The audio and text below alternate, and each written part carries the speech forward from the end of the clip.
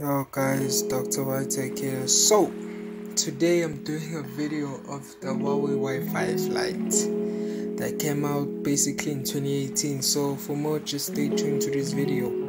Well, as for this phone, I don't have a lot of good things to say about it. Actually, I have bad things to say about it because this phone is a very, very, very, very, very bad phone, and I don't recommend anyone to buy it in 2021 mainly because it runs uh, android go and no one wants a phone that has android go.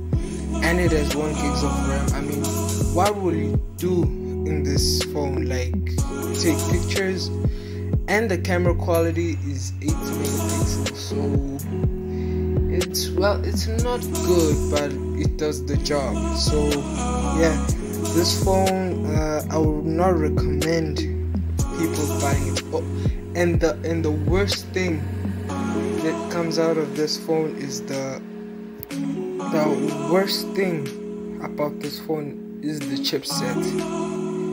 This phone is slow guys. Like trust me. I've tried if if, if y'all know what car parking multiplayer is i've tried running the old version of it and the version wouldn't even run this phone is good for nothing. So guys i recommend you stay away from this phone if you know it's good for because guys this is a very very very very bad phone. Like it's very very bad well in the box it comes out with earphones and a power brick and a usb a charger. So it's not usb-c and again this phone is a 2018 phone.